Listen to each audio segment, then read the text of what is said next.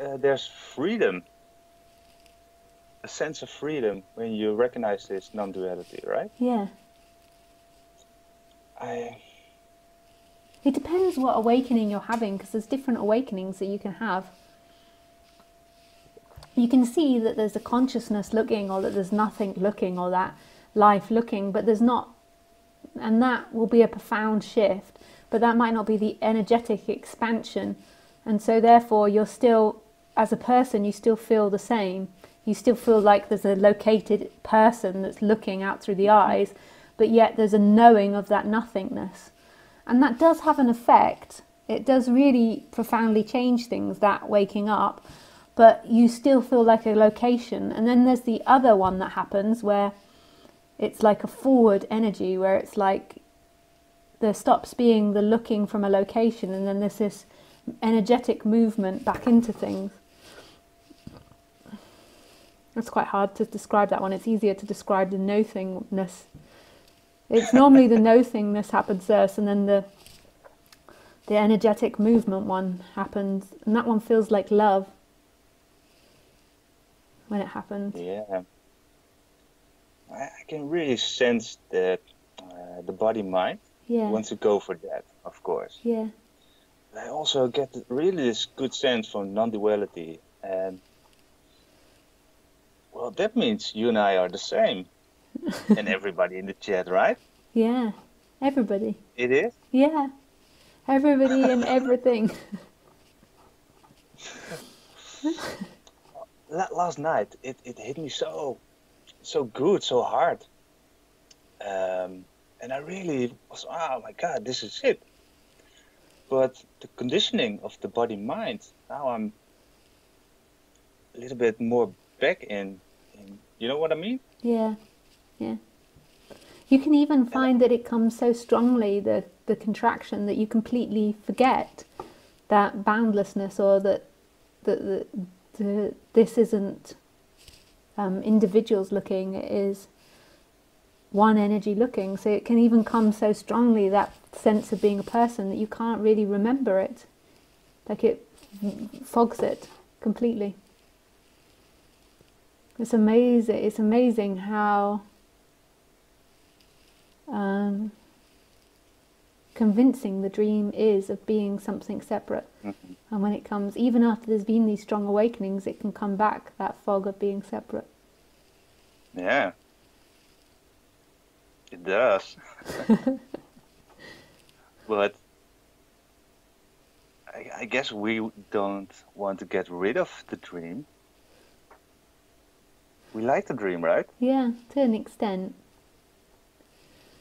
It, Yeah, that depends on, on how your life is. yeah, I yeah, think, I think it's very important to have uh, virtues and um, to make your life work because else it's only suffering. yeah. You can be an awake Yeah. person and suffer only.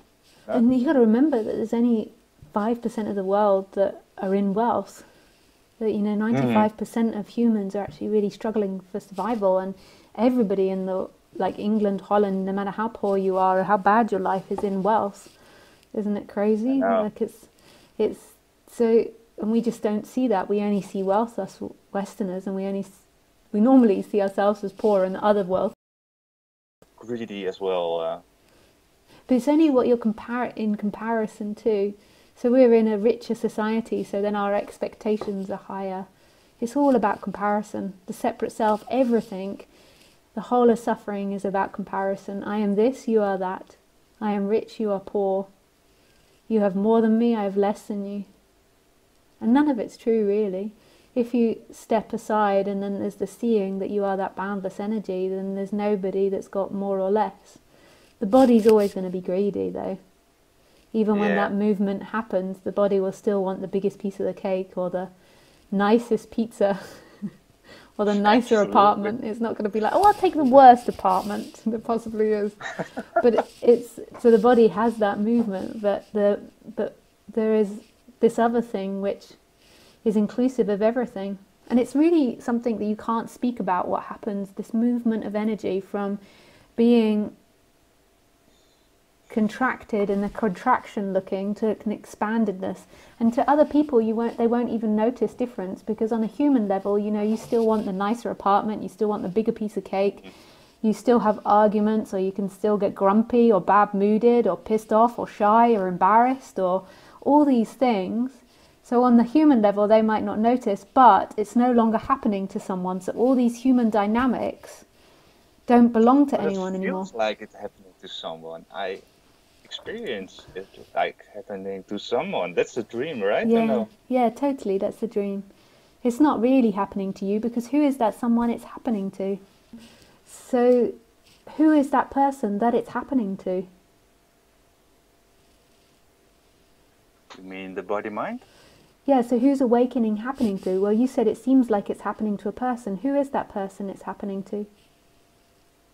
That is the body mind. It is like the body mind recognize recognizes what's really going on. Yeah. That's consciousness is But- only that. So, what, what is the body mind? Can the body mind actually recognize anything? Yes, I do believe so. Well, if we call it consciousness, which I have a tendency not to call it consciousness, but if we call it consciousness, so there is mm-hmm. this knowing, this consciousness of everything. So there is something that recognizes everything, which is beyond the body mind mechanism. So then, what is Yeah. the body mind mechanism?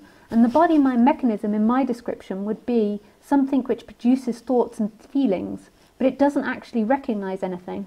But that body mind mechanism is always being updated by those thoughts and feelings. So today it might recognize that. Um, That, that's what it is. At least I believe there are different thoughts and feelings yeah, now producing in the body Yeah. mind. yeah. But that doesn't actually, that's not actually somebody's experience. So it's not actually somebody that's having that experience. It's that the body mind mechanism is remembering the last moment and then this moment, putting it together in a current dream of itself. But that is like a film playing. hmm What's actually recognizing that is beyond that. The body mind mechanism never ro- recognizes a thing. If there wasn't consciousness, then it would be like a film playing in a cinema and nobody was sitting watching it. I, am sorry, I don't follow. Yeah, okay. So, um, so what, what's your question? Because you say, uh, what's the body mind? Mm-hmm. so does so you said it feel it feels like somebody's having an awakening. It feels like it's happening to someone. And who is that someone? Well- That's that is the body mind. It's not a someone. It's it's a mechanism. Yeah. It's the mechanism who realize or uh, produces different um, uh, patterns. yeah, yeah, And and it's uh, before it was the pattern of oh I'm a person yeah, and, yeah, and how how the patterns are you do it you are consciousness man. yeah, You still need to get your life in order, yeah. but you are a bit different than you thought you were. Yeah, yeah. So that's what's now happening in the body mind mechanism, and that's really Yes. beautiful, and that's the side effect. And what that does is that over the years will profoundly change the body mind mechanism, and it will always update it and be changing that body mind mechanism. But it's not that body mind mechanism that wakes up because there's nobody inside the body mind mechanism to wake up.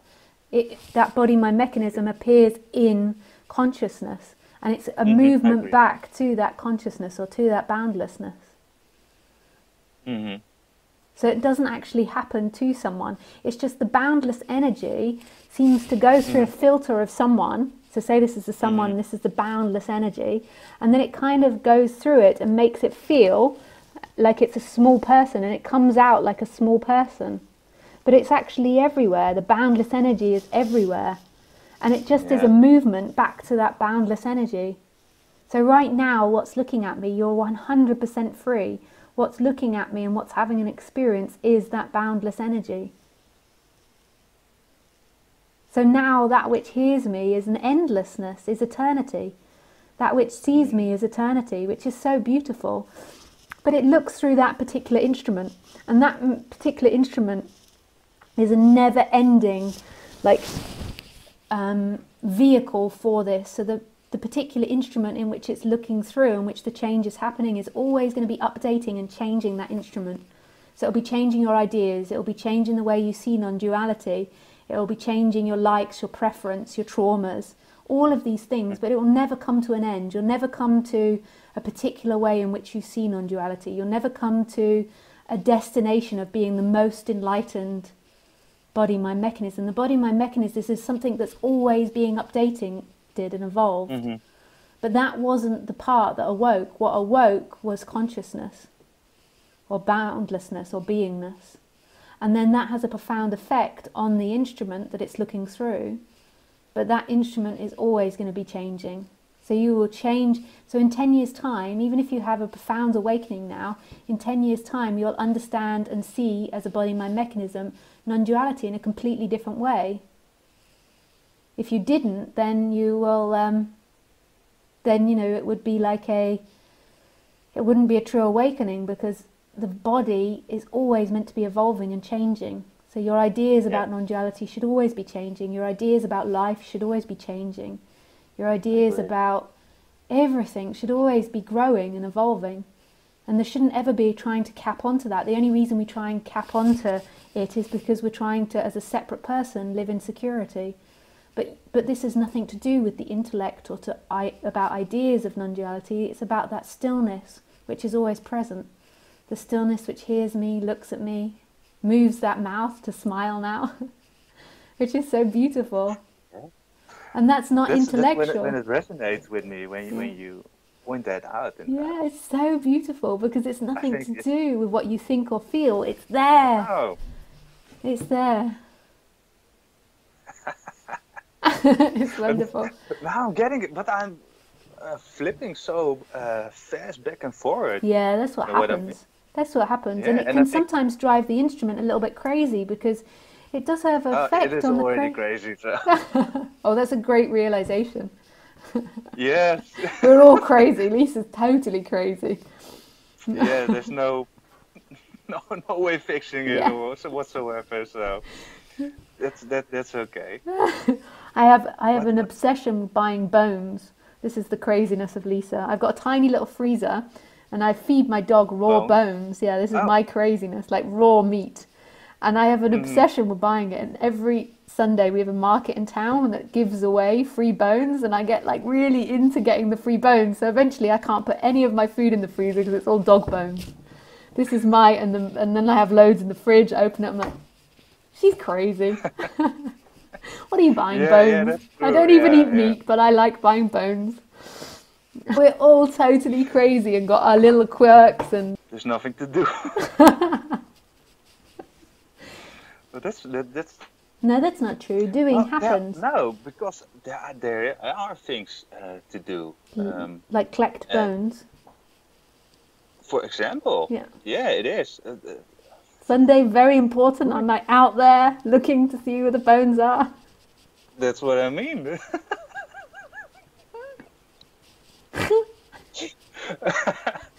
yeah, that's true. That's true. Yeah, so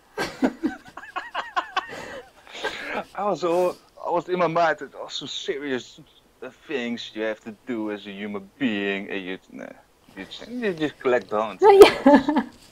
but uh, doing is always happening. It's it's just seeing that the you that you thought did isn't the doer. So that energy that feels like you are in behind the eyes and you're making a ah. choice to do something isn't mm-hmm. actually a separate entity. It's a functioning, appearing in a boundless freedom, and that that It- still carries is, on. but- I still have that that di- that dilemma. You know, I go to the store where it sells the bones, and I see the small bones, the big bones, and they want to give me these bones, and I'm trying to barter. So I still have that one that's like, no, say this, say that. No, oh, you said it wrong, but that doesn't mm. equal an entity.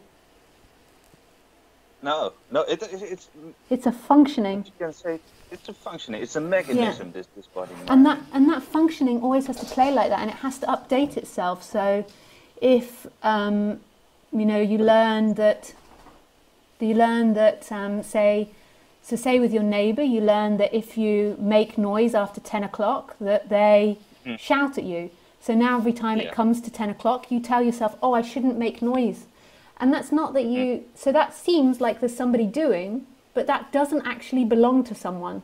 But that's a really important functioning of being a human. That input comes and goes, oh, 10 o'clock, I shouldn't make noise. But the problem is, mm. is we feel that that's a separate entity living inside our head rather than a functioning. It's a really important functioning of this instrument, the ability to decipher between one action and another. Khaleesi doesn't have it, and she does really stupid things. Mm. But like, but Yeah. we have that ability, but that doesn't imply that we're separate. That's the problem, is it that we think it makes us separate.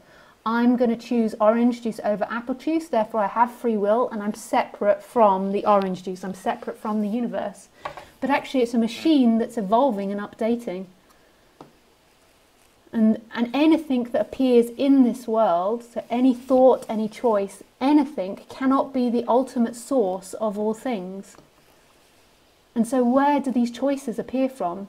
And then, when it's explored, it's seen that there is no place, there's no person, there is nothing it appears from. It spontaneously explodes into existence. And then, when it explodes into existence, it comes with this profound sense of being, of amness. And that's the freedom, is going back to that rather than living in this identity which lives in time.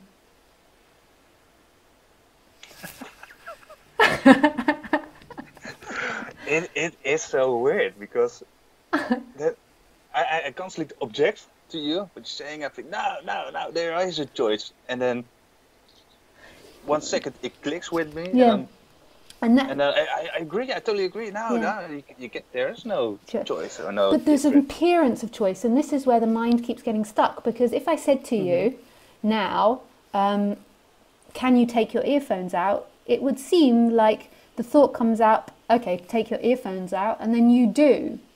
But that mm-hmm. location of the you isn't actually you. So that location of the one that says, okay, I'm choosing to take, and it normally feels like you're in the head somewhere.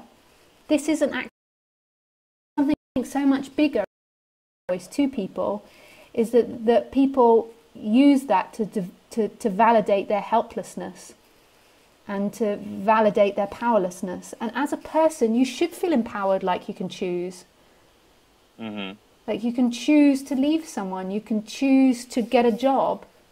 Whether or not that will happen, none of us know, but it's not ultimately a separate person, but the body feels like it can choose. So now if I had a um, if I had, you know, a massive debt or something, I'm trying to mm-hmm. think of a difficult problem, a massive debt, I could take action in order to change that.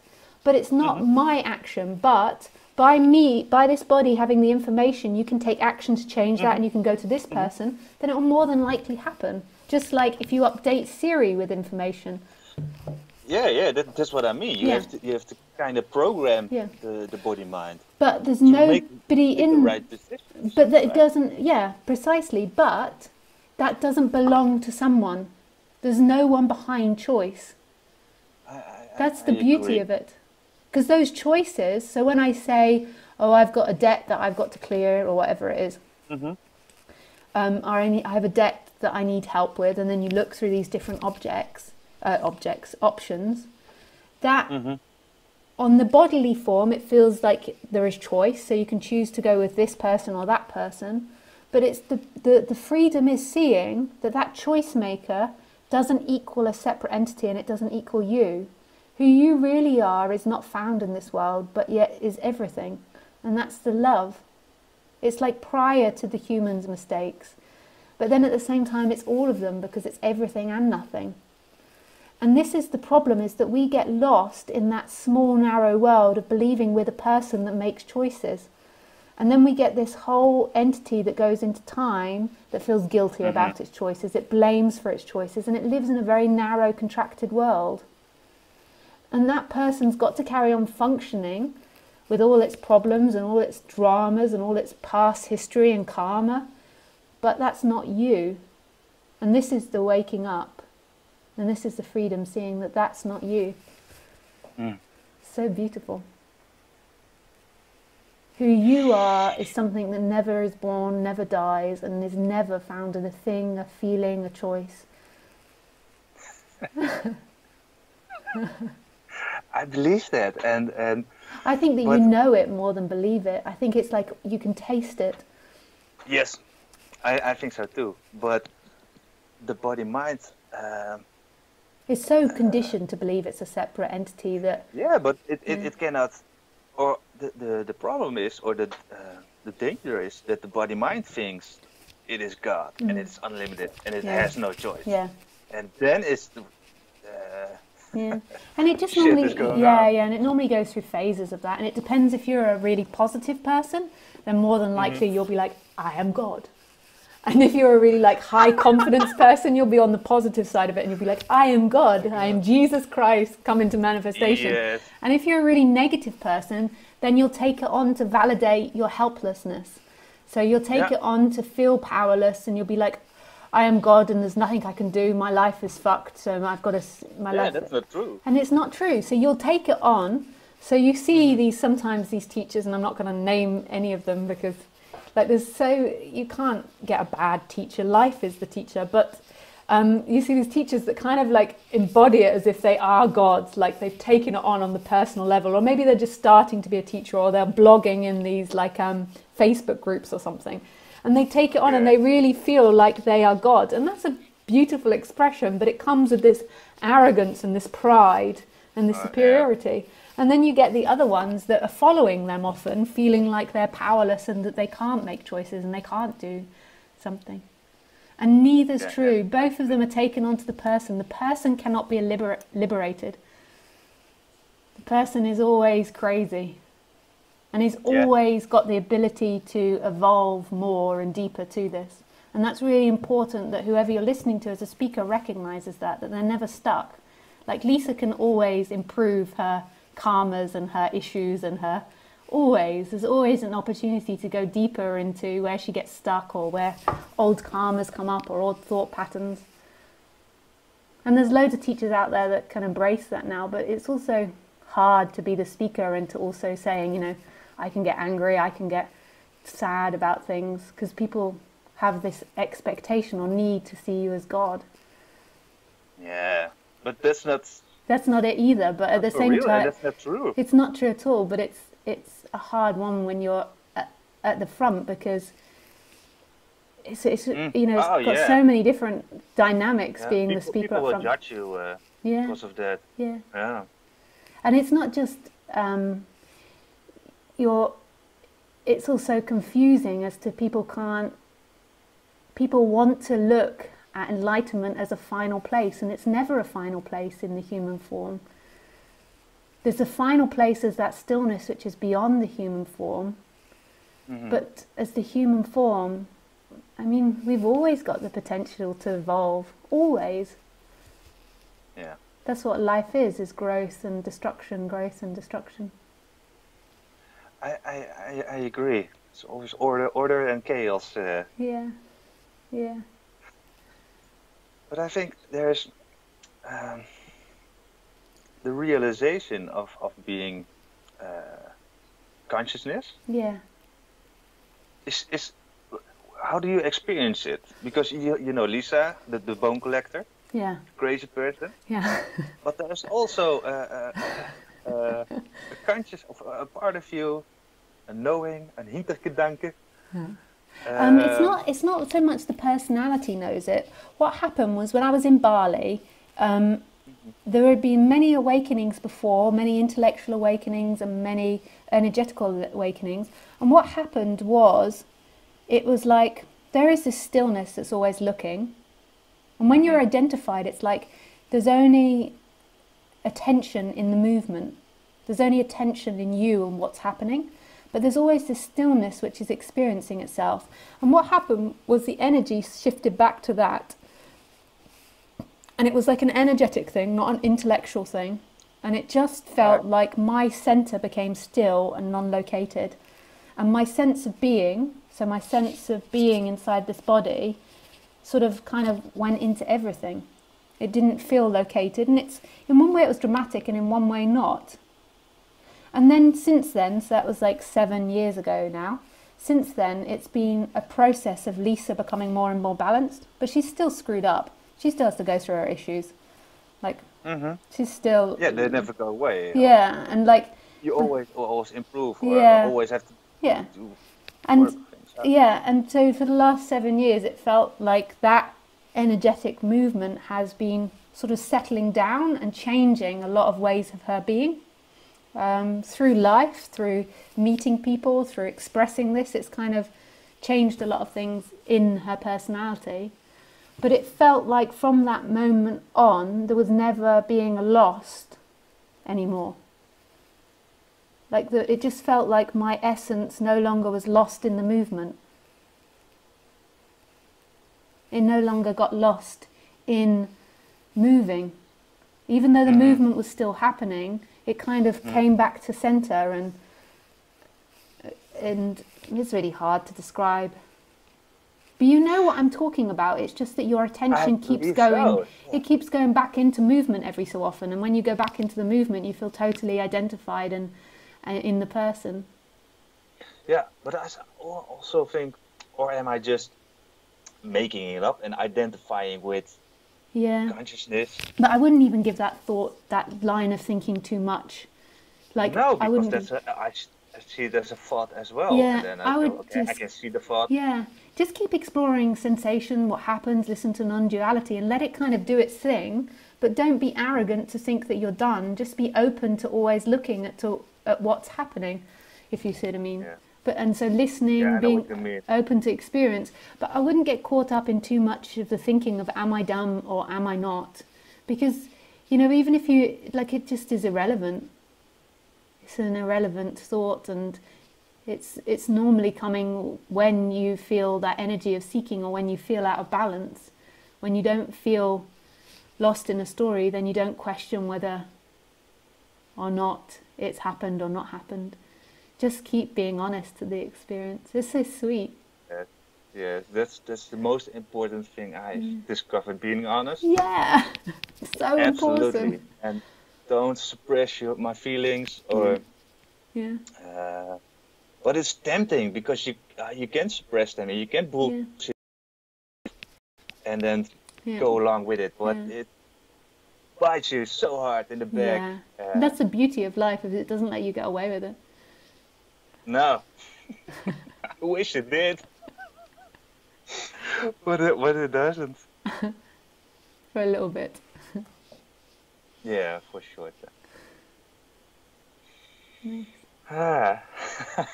that's so nice to talk with you yeah, yeah, yeah. It was good uh, to speak with you last time. Uh, That's what I thought because you you ended from, dude, I don't care about anybody's enlightenment. I need to eat now, right? Because there, you need to take care of the body, the body mind. this is how i ended the last session Yeah.